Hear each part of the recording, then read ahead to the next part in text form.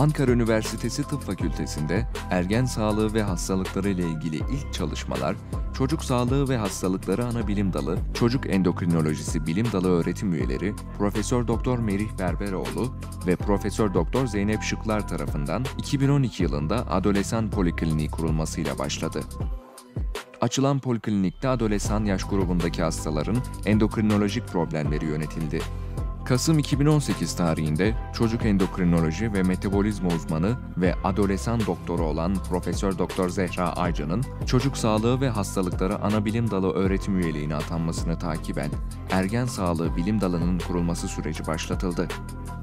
2019 yılında fakülte kurulunun kararını Yükseköğretim Kurulu'nun da onaylamasıyla Ergen Sağlığı Bilim Dalı resmi olarak kuruldu.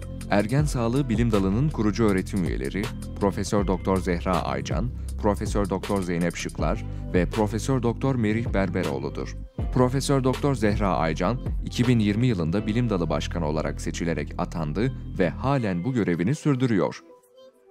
Fakültemizde ergen sağlığı bilim dalının en önemli kuruluş amacını ülkemizde ergen sağlığı konusunda bilim insanı yetiştirme, ergenlik dönemiyle ilgili araştırmalar yaparak bilgi üretme ve ülkemizin ciddi bir nüfusunu içeren ergen ve gençlerimize hizmet etme oluşturuyor.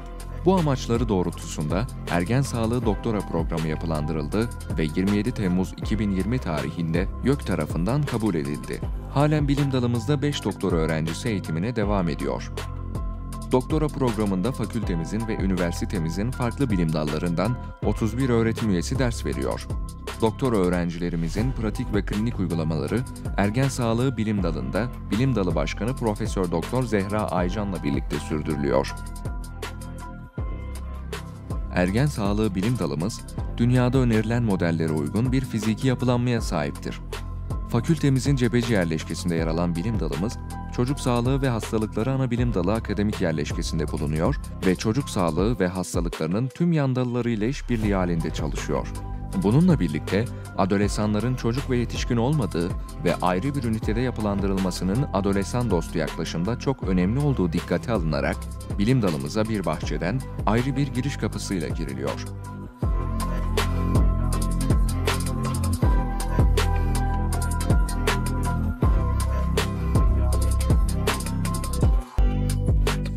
Ergen ve ebeveynleri ayrı bir bekleme salonunda bekliyor ve gereken hizmeti alıyor. Ergen sağlığı bilim dalımızda sekreterya, bekleme salonu, iki poliklinik ve ergen görüşme odası, bir psikolog odası, bir adolesan hemşiresi odası ve eğitim toplantı odası bulunuyor. Bilim dalımızda aktif olarak bir öğretim üyesi, doktor öğrencileri, iki pediatri uzmanlık öğrencisi, bir psikolog, bir adolesan hemşiresi ve bir sekreter çalışıyor herhangi bir problemle başvuran ergenin fiziksel ve psikososyal değerlendirilmesi yapılıyor. Gerekirse kan tahlilleri aynı mekanda adolesan hemşiresi tarafından alınıyor ve eğitim ihtiyacı varsa karşılanıyor. Ergen hasta gerektiğinde psikologumuz tarafından görüşmeye alınıyor, rapor ve reçete dahil tüm işlemleri bilim dalımızda çözüme kavuşturuluyor.